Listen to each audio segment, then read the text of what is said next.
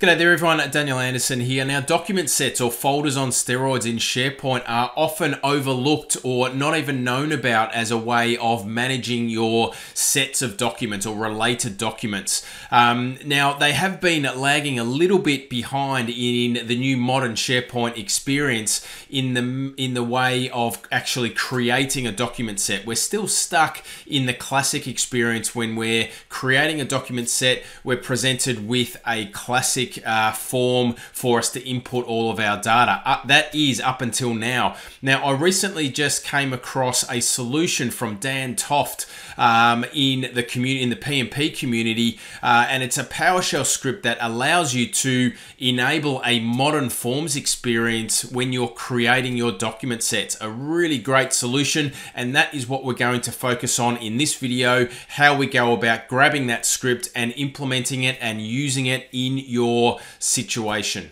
Now, the first thing you're going to want to do is head over to the PnP script samples website where you can see on the screen here there's the URL, and you can see right now that this uh, particular script we're going to have a look at is the second tile or in the middle right here. So enable modern creation forms for share, for document sets. So when we click on this, we're going to be taken to the actual script itself. We've got a README file and we've got the script here. Now, what's amazing about the PnP uh, community is that there are tons of these samples on this site that you can take and use in your own uh, environment and just um, change to suit the requirements that you're looking for. So what we're going to do is we are going to take this entire script and we're going to copy that and we're going to open up Visual Studio Code and where all we're going to do is we're going to paste the script in there and we are then going to just adjust it to our scenario.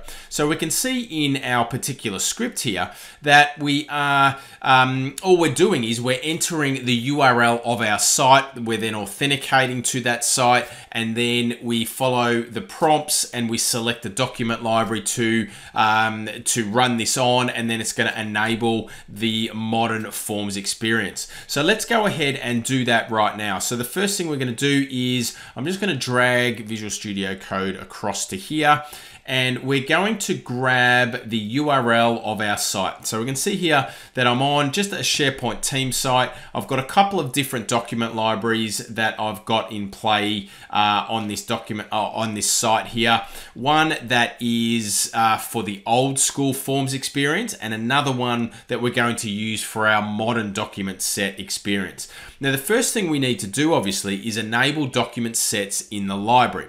So I'm going to jump up to the cog menu and I'm going to go to library settings. Now this is a, a site collection feature also that needs to be enabled at the site collection level for document sets to be made available. So this is a uh, document um, library here. Actually, what we might do is jump over to the modern sets document library here. We'll enable document sets on this particular library. We'll leave the old school library just to give us um, a look at the older style. So if we go to library settings, we'll go to more library settings and we need to enable content types. All right. So we'll jump into advanced settings in the library and then we'll uh, toggle and we'll turn allow management of content types across to yes. And then we'll scroll down the bottom, we'll click OK. So what that does is allow us to use different content types now on this library.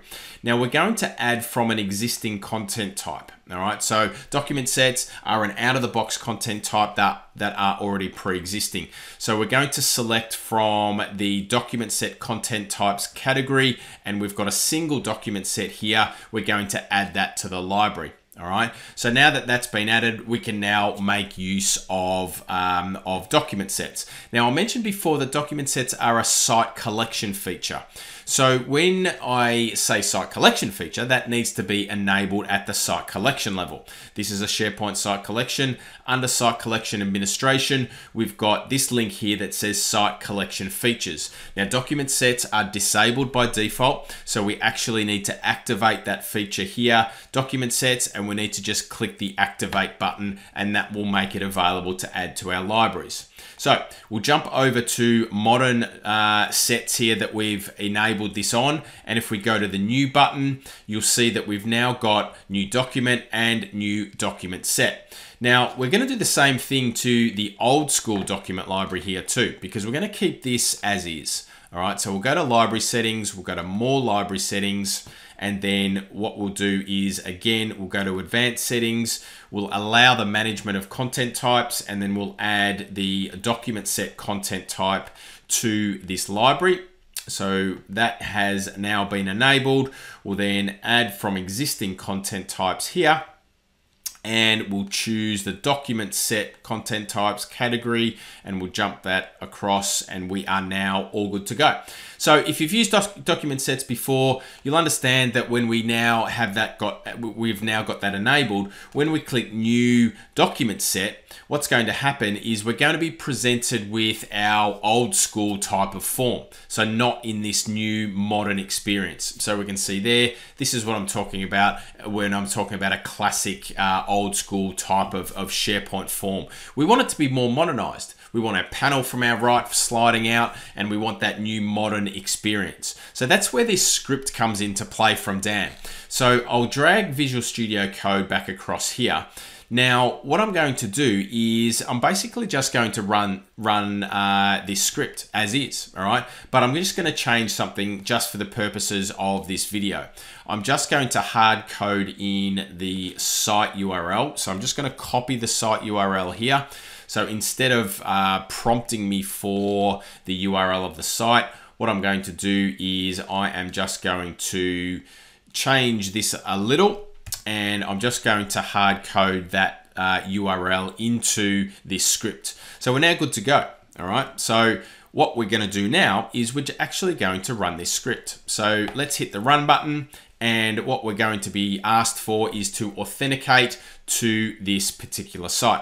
So let's authenticate. We'll pop in our uh, username and I'll just grab the password and then this script will authenticate to this particular site. So we can see here, enter the password, hit sign in, and with this script will continue on. So let's wait for that to authenticate. We're done.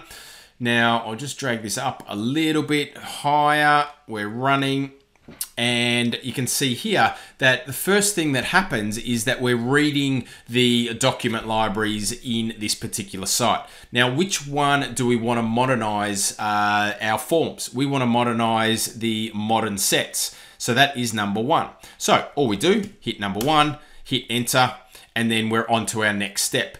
The which content type do we want to modernize? We want to modernize the document set. So we'll hit number two okay and then it is all done as simple as that we've now got um, uh, the modern forms experience for our document set on that particular library so let's jump back into the site we'll hit the refresh button and let's see what happens all right so remembering that uh, the old school is the classic uh, experience. Now, when I move over to modern sets, this document library here, and I go to new and I go to document set, what's going to happen is that the right hand side panel is now going to fly out and we no longer have that classic form experience. Okay, so let's, let's hit cancel here.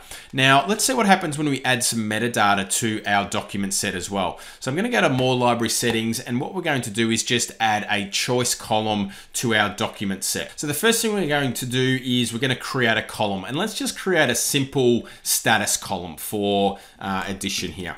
So let's go status. We'll just choose a choice column here. Uh, and then we'll add a few values and we'll add it to our document set content type. So let's go um, new in progress completed. That'll do for us. And we'll add to all, actually, let's turn this off and we'll click OK. So now that we've created our, um, our column, let's go into document set and we will now add that status column to the document set. So we'll add from an existing site or list column and we'll go status, we'll click that across there and we'll click OK. So now we've added that. Now let's see what the experience is like now in our modern document set. Does that um, come across into the new forms experience? So we'll click new and then we'll click document set and our panel will fly out from the right hand side.